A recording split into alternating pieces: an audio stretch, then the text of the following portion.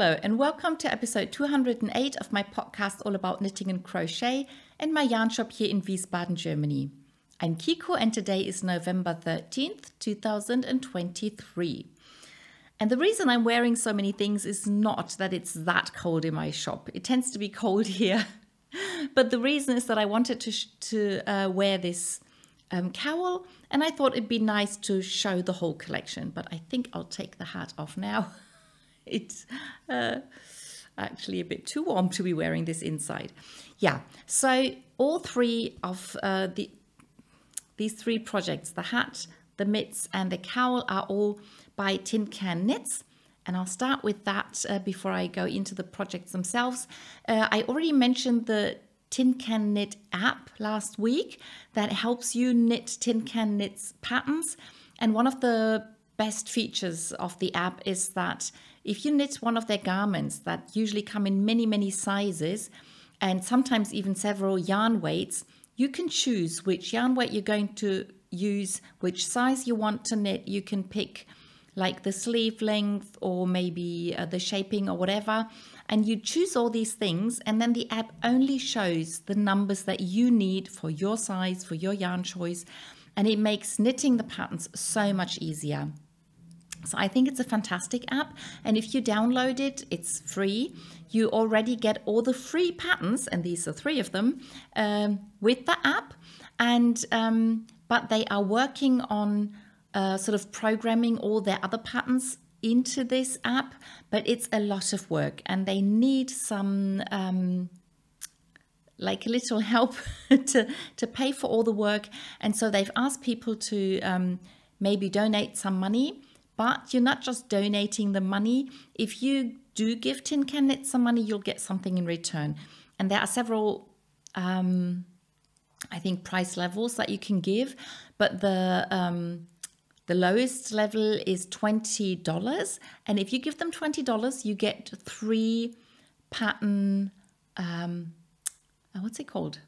Oh, I forgot the name, the word for it. But um, you can get three of their patterns, and you can either buy some of the patterns that they've already published, or you can wait for the for future patterns, and you can um, get three of their patterns. And I think depending on what you choose, that might be even more than twenty dollars. So you're not really giving away money, but you're you're just buying uh, the patterns in a different way.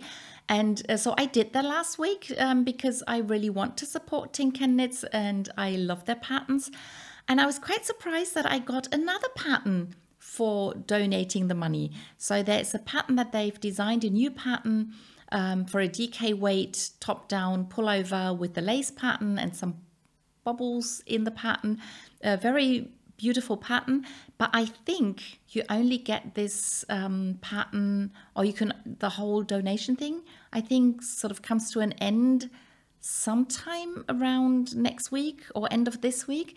I'm not 100% sure but um, so in case you hadn't heard of it or you hadn't made up your mind yet i can only encourage you to do that. You donate $20 but you get at the moment four patterns. One you can't choose but three that you can choose. So i think it's a really good deal and i would uh, encourage you to do that. And so wearing tin can knit patterns was uh, my way of reminding myself to tell you. Now about these patterns. They are all part of the simple collection. The simple collections are free patterns that tin can knit, uh, knit have designed and just given to the public for free. They encourage people to use these patterns to teach knitting, which is what I do in my shop and in my knitting school here. So um, that's why I made these projects so I can show my customers. And um, one feature of their simple collection patterns is that most of them have a mix of stockinette stitch and garter stitch and some ribbing.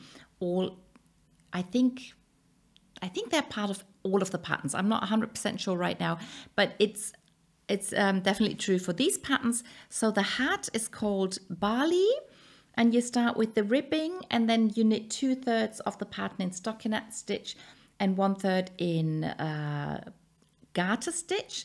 One of the uh, most common mistake that people make is that they do reverse stockinette on this side doesn't matter it still works as a hat but if you do the reverse uh, if you do the garter stitch this side of the hat will be a little bit shorter than the rest. So it'll be a little asymmetric, which I think looks nice. And then you can choose how to wear the hat. You can wear this in the front or in the back. I like to have this line sort of in the middle of my, uh, on top of the middle of my face. So I have one half the garter stitch, the other half the stockinette stitch, but that's just how I like to wear it. And I used one strand of sock yarn and one strand of mohair held together to get gauge. Worked out really fine. And um, for the cowl and the gloves, I used um, the same sock yarn, but two different mohair yarns. So a lighter blue and a darker blue. And I also use both in the hat, but you can't really tell because I think I was striping it. I think I was doing so many rows with that mohair and then with the other mohair, and it just doesn't show. But I still like the hat a lot. The mitts are called maize. And um, again, you have, oh no, with these you, I either made a mistake or you don't have the garter stitch. So with these, I actually knit, um, oh, you have reverse stockinette, you have normal stockinette, and you have ribbing. So this is not stockinette stitch, this is ribbing that runs up from the ribbing down here to the ribbing up there. And um, yeah, simple to knit, but you can learn things. You can learn how to read patterns. You can learn to take care of your knits and purls and you do some increases for the thumb. So very, very nice pattern. And then the cowl, um, I think that has the three features again. Yeah, so you have a ribbing on the bottom and up at the top of the um, cowl, you have stockinette in between, and then you have one part, it's probably again a third, in uh, garter stitch. And again, if you did it in reverse stockinette, it would sort of look the same, but you wouldn't have the height difference that you get with garter stitch. So um, this bit is just a bit shorter just because of the garter stitch. Of course, I can I can pull it apart to have make it at the same length, but I quite like the asymmetric look of this and it will teach you to um, one round knit all the stitches and then the second round you have to purl just these stitches and knit the rest of the stitches. So it's really nice. And with this uh, cowl you can see I use the same sock yarn throughout but I did one half with the darker mohair and the other half with the lighter mohair yeah really love these little projects, these little accessories, and um, it's a great way to practice your knitting and to to um, learn some new skills. Yeah, so that's that's that. And then the other um, big project I'm wearing is my um, hexagon crochet cardigan that we did as a crochet along not too long ago on the podcast. And back then I wasn't I, I never wore it on the podcast because it was just too warm. And now I can show you the finished project on me. So you start the cardigan with two hexagons. You start down here and you crochet in the round. You crochet hexagons and you sort of create the front, back and sleeve of the project at the same time. And once you have the sleeve width that you want, you can crochet or sew the sleeves together and then you can crochet in different directions. I chose to use the red yarn with some blue for the main hexagon and then after I um, decided that the sleeves were wide enough I added some rows around the front and back in the blue yarn with the red. So they're both opal yarns from their rainforest series. And once I had the width of the front and back that I wanted, I only crocheted down to get some more length. And for the sleeves, I added the red, the leftover red yarn that I had to lengthen the sleeve and then crocheted the rest with the blue yarn again to uh, the length that I wanted. And now I'm going to stand on my chair again as usual. So you can see it's a really long cardigan. I love the length of it. I love how warm it keeps me. I added one little pocket for the handkerchief. And um, yeah, really happy with that as well. And um, once I had the length that I wanted, I did three more rounds all round the edges so that I had a nicer finish finishing look on the front of the cardigan. Yeah so that's my crochet cardigan. And while I'm up here I thought I could quickly show you another pair of my knee-high socks um, that you've seen that you've seen when I you saw it when I knitted it that's what I'm trying to say but I don't think I ever showed them on my feet and legs um, so these are out of the book Blue Stockings by Kate Davies. It's the first pattern in the book and it was the first pattern that I knit. So they're plain on the back but they have this nice lace pattern running down the front of the leg and the top of the foot. And I really really like them and because they are just a single color which is quite unusual for me um, it means I can wear them with a lot of things. And it's kind of the same blue as in the in the cardigan so um, yeah I decided to wear them today and show them to you so that was already quite a lot just for the things I'm wearing, but I did wear a lot today and um, yeah, there was some explaining to do. Okay, now let's go on with my projects, my current projects, and I have um, sort of two finished projects. I have one proper finished object and then one small part of a project. And the finished project that I have today is not something that I cast on last week, but it's a project that has been on my needles for quite some while. And it's the Instant Crush socks that I knit for my sister. And um, as, as, soon as she's back from her travels, I can give them to her. And uh, I hope she'll be really happy. I knit them out of alpaca sock yarn by Hansa Farm, so they're wonderfully soft. And they um, have different lace patterns uh, for the foot and the short leg. And then they have this rolled edge that my sister quite likes. And then they have this little ruffle in between that has a little lace pattern as well. That's mostly invisible, but that's okay. Um, but I, I think she's going to enjoy just this little touch of something on top of um, her socks. She probably be wearing, well, if she wears black stockings underneath, it will hardly show, but uh, I hope she'll sometimes uh, just wear the socks like that and then it'll just show a little bit. Um, this was a um, warm-up pattern, I think, for the Sock Madness this year.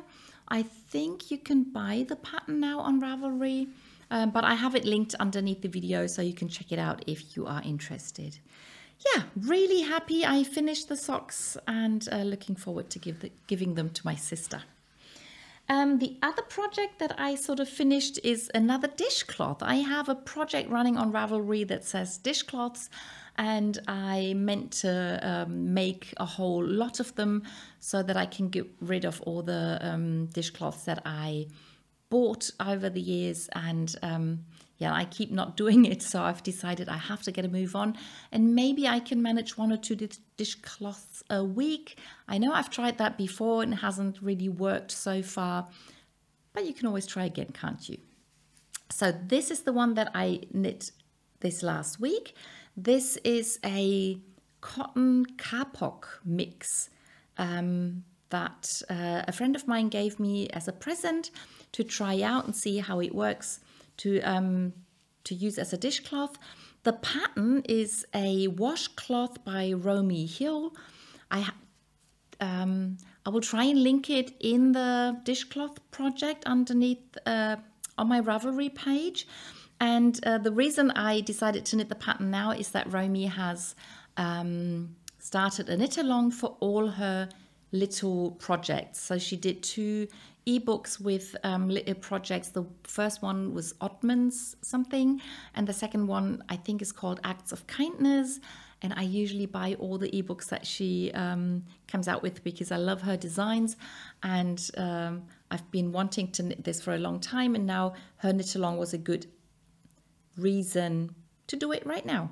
And it knit up really quickly. I really like the pattern and uh, very happy to have one more dishcloth in my collection.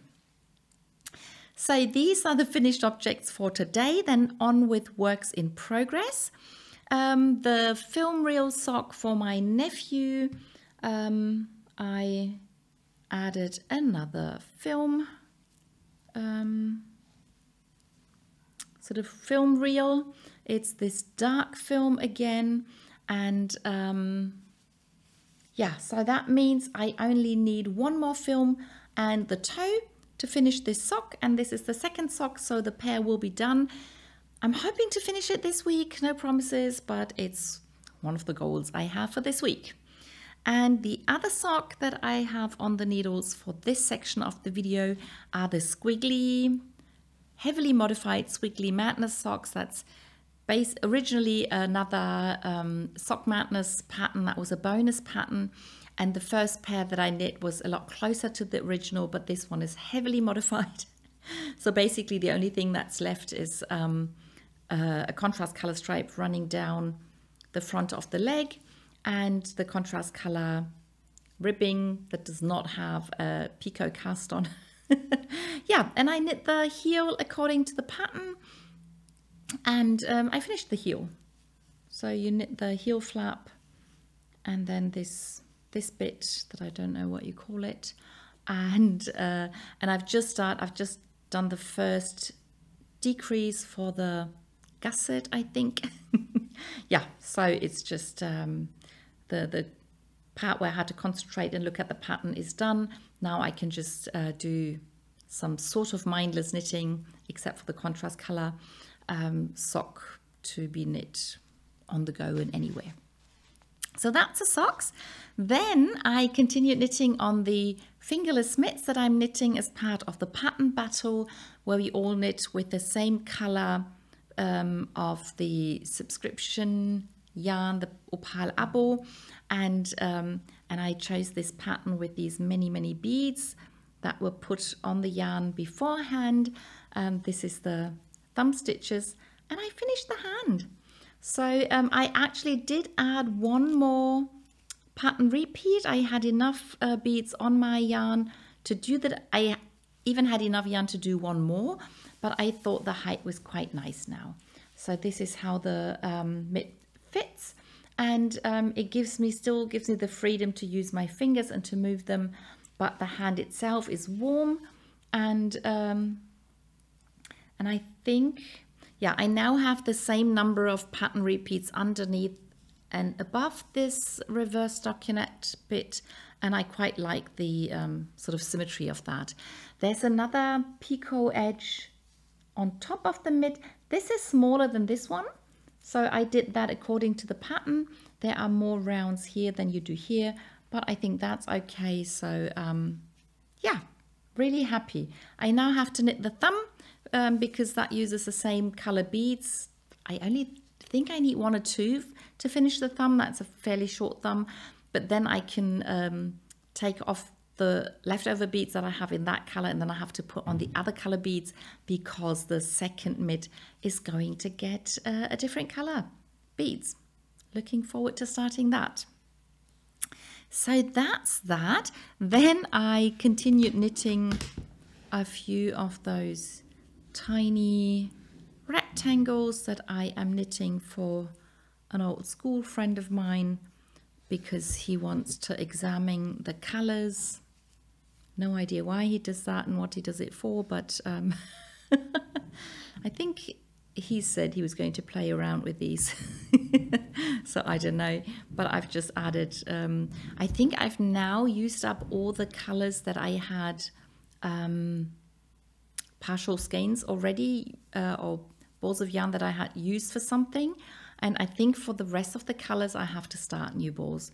So I there may be uh, several solid color project projects in my future. Having used up just like two, three grams of each uh, ball, I will have to do something else with the leftovers, right? That's what I think. Then we come to my one new cast on this week, and that's a rather uh, curious story. And um, it's all about this yarn. So this is a, what's called eight ply yarn um, in Germany and it's one of Opal's colorways from last year. So um, Opal always comes out with one series of eight ply yarn every winter and uh, I think this was everybody's favorite color last year So um, it's called, it has a funny name. It's called the Crazy Snowman.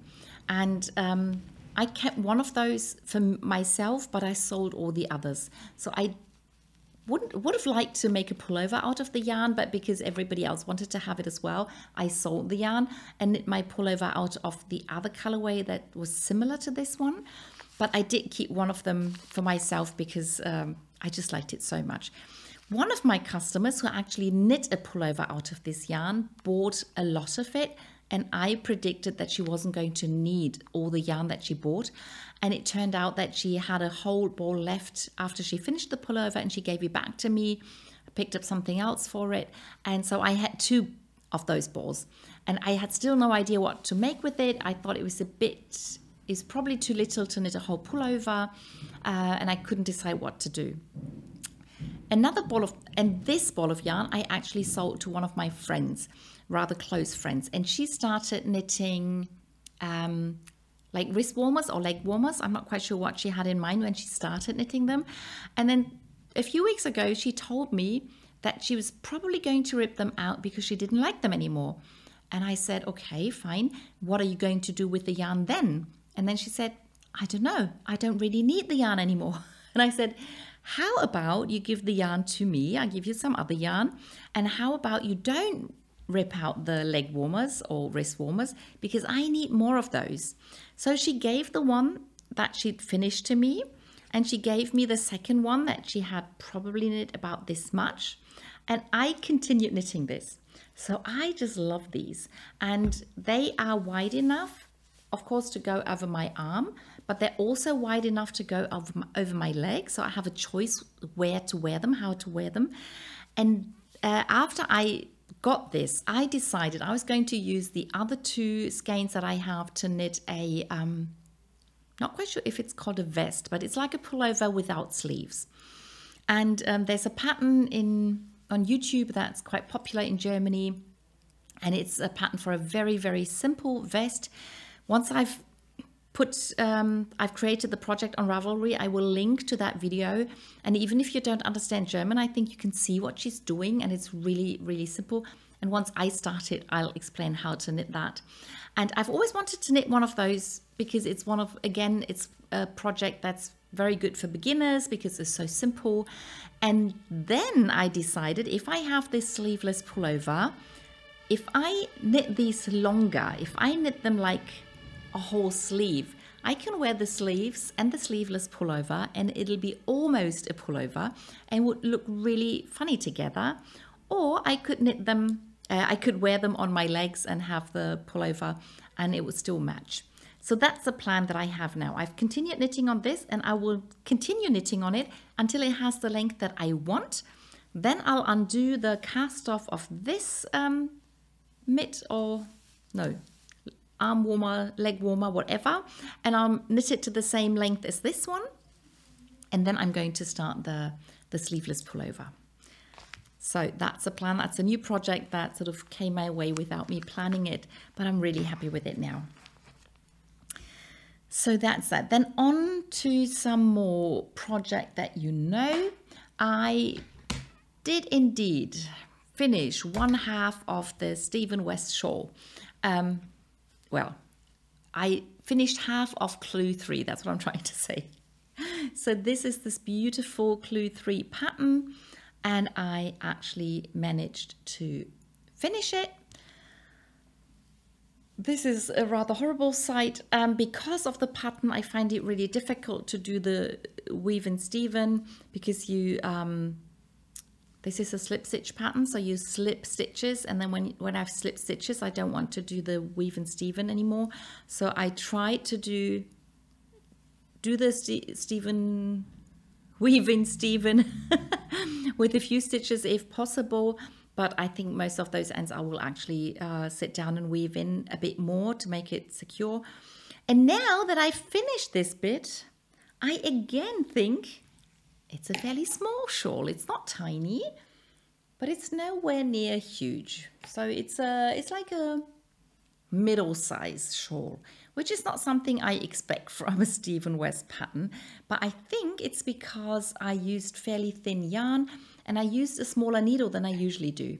So normally when I use sock yarn for shawls, I, I use a four millimeter needle, but because the alpaca sock yarn is a tiny bit thinner than the normal sock yarn, I, I'm knitting this with a 3.5 millimeter needle.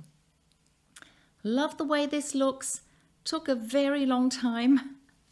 I've picked up the stitches that I put on hold on this side and I'm knit two stripes. That's all I managed to do after I finished the first half. So there's one stripe in the dark grey and one stripe in the black. The next stripe is going to be the light grey and I've almost run out of the light grey that I used here and I didn't have a second ball in the same same yarn. so this is the old sock yarn that Hansa Farm used to produce. And now I, for this half, I'm going to use the new sock yarn that they're doing, which is a tiny little bit thicker. So we'll see whether there's going to be a difference between this side and that side. Um, but if there is, that's okay. I have different beads on this side and that side. And um, it's all about improvising. And it's always good to use up these leftover skeins of yarn that you have. So um, yeah, really looking forward to getting this light grey stripe done to see if there's a difference. And then hopefully by next week, I'll have more than one light grey stripe done on this side. So that's that shawl. And um, then we come to the pullovers. And I have the sock weight pullover, the V-back tee with a sparkly yarn. And I last week I showed you the cast off front and back.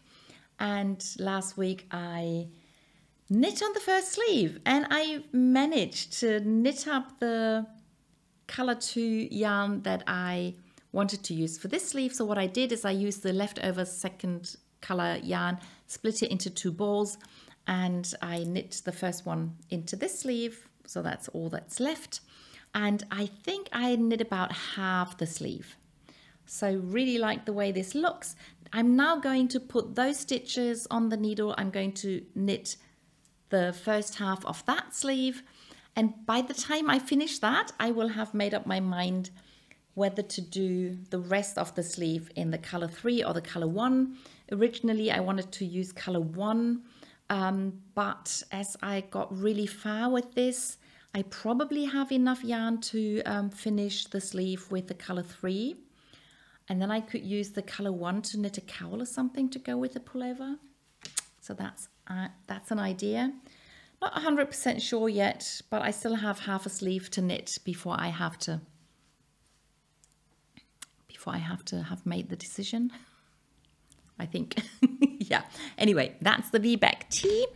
Um, the other pullover, the other top, the Reina de Picas top, I finally managed to knit a longer cable into the pullover. So it's not hugely long. If it gets too long, I find it difficult to knit with it. So this is a good size. I don't have to, the, the stitches aren't quite as bunched up as they were on the other needle, but it's still short enough that it's not too difficult to move the stitches along.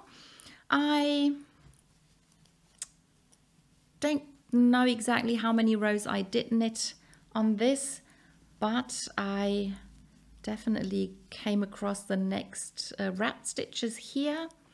So um, they do keep coming again and um, and I notice them because they take quite a long time to um, to just do this maneuver and I'm always happy when when that round's done.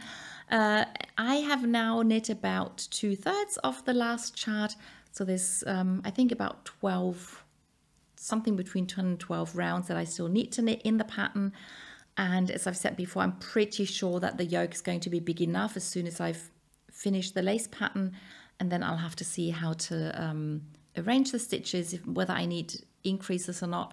And then as soon as I put the sleeve stitches on hold, it'll just be either stockinette or ribbing.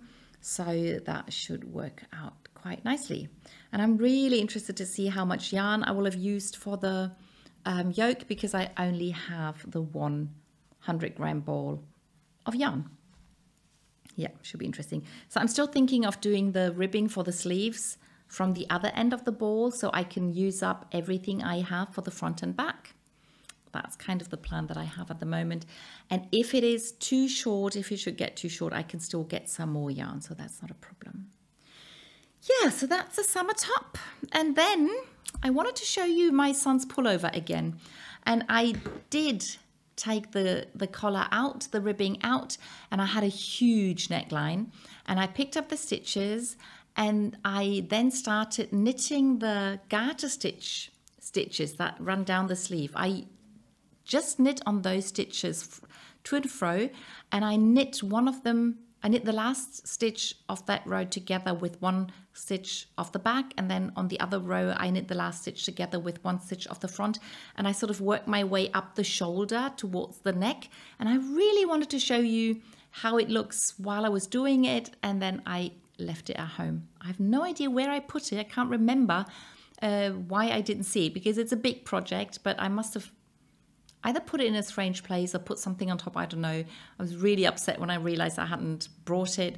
Um, so one part of me wants to leave it the way it is so I can show you.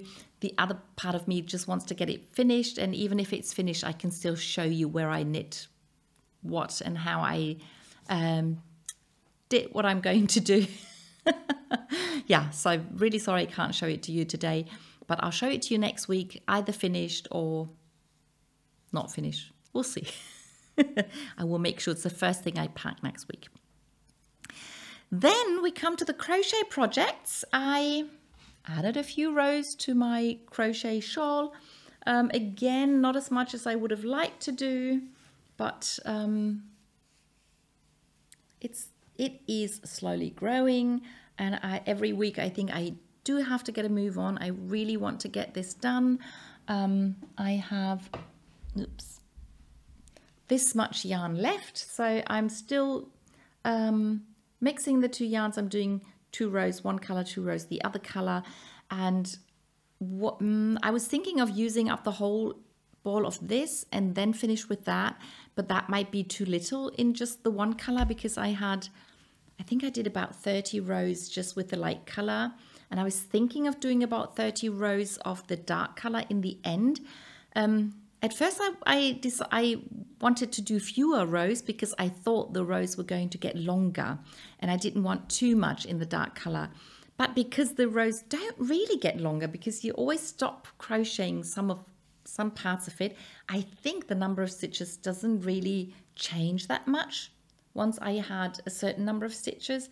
So I might um, continue using both colors until I have about 30 rows or maybe a bit fewer than 30 rows left and then I will just do the dark color just to get these two different ends of the shawl. So that's that and then the pullover I'm crocheting out of the dark blue cotton yarn.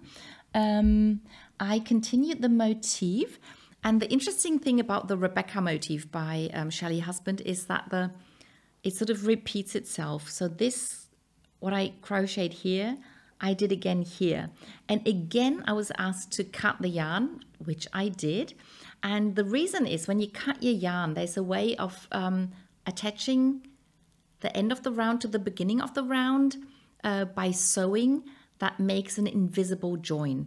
And the reason it is important at this point in the pattern is it's not only that you um, can start the row with crocheting into the back of the stitch easier when you start with a new um, strand of yarn, but also the, um, the outer edge that I have here sort of shows on the front of the work when you crochet into this third loop. And I think it's quite, uh, you can see quite nicely here.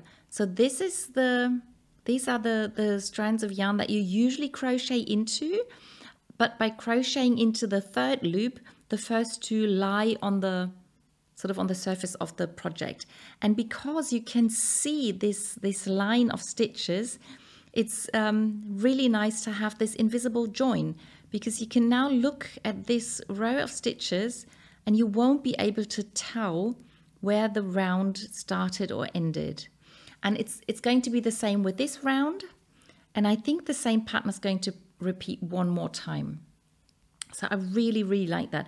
So I I am a big fan of Shelley Husband's uh, designs, and I think it's also these these small little things that she thinks of that sort of make her design so special. Yeah, so it's grown a bit, not huge yet. Um, not quite sure I'm going to get to the same point with the next pattern repeat, but I will try. I will try because I really enjoy crocheting that and I'd love to be at the next um, spot, at this spot in the next repeat. That'd be really fun. But if I don't manage next week, maybe the week after. Not too much pressure. So those were the crochet projects. Oh, I forgot down forgot to write down the blankets, but um, it's a good thing I looked at them. So I added a few more squares to the green crochet blanket. So um, sort of getting too big to show the complete thing. So this is sort of the first half of the blanket. And then this is the second half. And this was the line of granny squares that I attached last week. I completed adding this line of granny squares and I've only attached the third round. So I just did the first step of attaching them um, by starting the first or crocheting onto the first side of each of the granny squares and at the same time attaching it to the uh, granny square next to it. So all I do is I do three either trebles or double crochets and then I do a slip stitch and that's the same I think in both countries a slip stitch in between the um, the clusters of the other square and that's how I attach them and then I'm going to crochet down here around here, up here. And then when I crochet down this square, I can attach it to this one, go over there, go up. And when I go down, I'm going to attach them. And that way I'm going to work my way to this end. And then when I go down here, I'm going to attach those two. I'll crochet over there. And then I'm going to crochet up this side to finish to finish the um, this side because that hasn't been crocheted on yet and then I'll I'll end at the same point that I began attaching the squares so that's the that's how you crochet granny squares together continuously love the method so that's that and the other blanket my memories blanket I think I added two squares every time I pick up the blanket I think oh you need to do more squares per week but two's better than no so so this is the alpaca sock yarn that I used together with this yarn to knit a hat. And this is some leftover yarn from my fragmentation shawl by Stephen West. So I was using this um, color out of the beauty series by Opal and had three distinct colors with this light, uh, with this white, speckled white in between the three. But the square is too small, so I only got two of the colors, but that's okay and then I have to attach seven more squares to finish this row and then I'll have so this is the 12th row of squares in this blanket okay and then we come to the sock to the uh, knit along sock uh, still knitting banana socks and I did not knit a lot on this last week so I think I only added those two reverse stockinette stripes but that's okay. Did a lot on the other projects. Yeah, so that's everything I knit and crochet last week. I hope you enjoyed the video and I'll see you in the next one. Bye!